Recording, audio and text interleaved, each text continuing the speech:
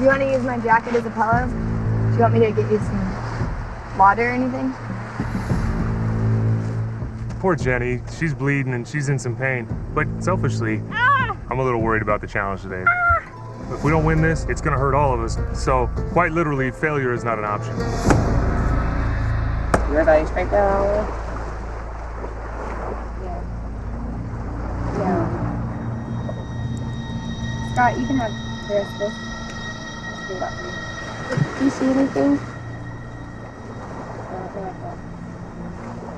No, yeah, just in the hair. Oh, I see it. Ew! Really? Oh, look at it. Come look from inside the tail. There's a tail. And look, it's wiggling. Oh! Oh, there it is. It's not all the way out. Oh, ah, it's gonna make it. Hold on, let it it Let it fall. There you go. It's coming out. It's coming out. It's crawling out. Ew. There it is. There it is. I'm gonna get it as soon as it gets out of your ear. I'm not gonna make it worse. Ew.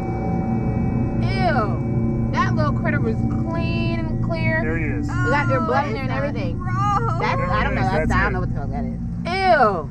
It was just amazing. It's killing. At first, I wasn't sure how long it was, and ended up being about yay big coming out of her ear, which was it's pretty long for an ear canal. So it, I could see how she was in pain. Does it feel better? I feel like myself again. Seriously, we're gonna kill this challenge because I'm so pissed off. Yeah! That's Jenny. Jenny's back. I feel amazing. I back to what I was before, ready to take on all these challenges. I got this 39 days, no problem.